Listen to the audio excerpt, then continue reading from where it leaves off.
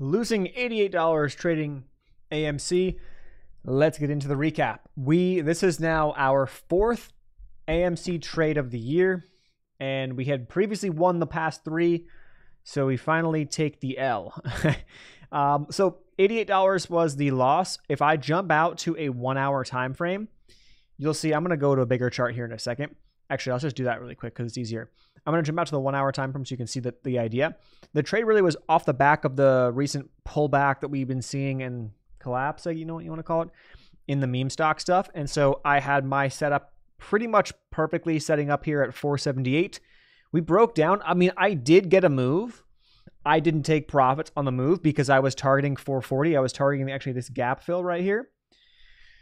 And we never filled the gap. And then it kind of held up, built a higher low today, and then hit my stop. So it was not that crazy of a trade. It was a pretty simple trade, actually, to be honest with you. But um, that's how that's how it went down. Um, now, I originally got in, and my stop loss on the break here yesterday was high of day. So it was actually at 498. And so I was risking initially, uh, I was risking 498. So I was risking about 20 cents up for about 35 cent down. So not a two to one, but close to a two to one risk reward. And as you see, AMC is uh, strong today, so it's pushing. I'm I'm not one to trade the uh, short the pops. I don't do that. I play momentum, so it needs to fit my strategy. So it, it did, and then now obviously it broke down. So that's really the trade recap on AMC, and not much to it.